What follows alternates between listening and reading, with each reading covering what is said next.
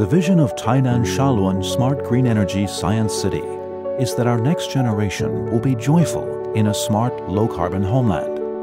As Taiwan is marching along the road of energy transformation to become an international Silicon Island of renewable energy.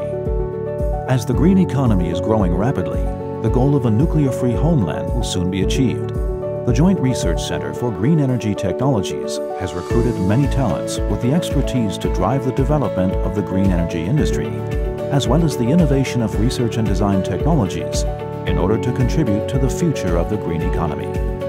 With strong innovative research capabilities, Green Energy Technology Demonstration Site provides local industries with new technologies to compete in the international market. The top-notch basic research of Academia Sinica will be extended to the southern campus in the Science City.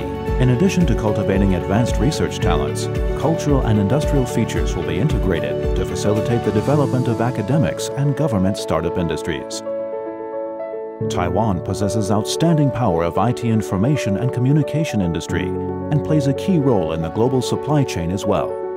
Taiwan is ready for the era of autonomous vehicles. In the future, houses will be sustainable and the circular economy will be part of life.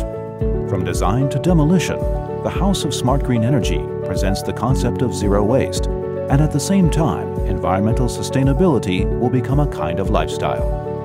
Convenient transportation will bring international enterprises to the Greater Tainan Convention and Exhibition Center, which will move Taiwan toward the global stage and show our unique attractiveness. We will promote commercial trades to facilitate industrial development and enhance our economic strength and international competitiveness to drive Taiwan's economic growth.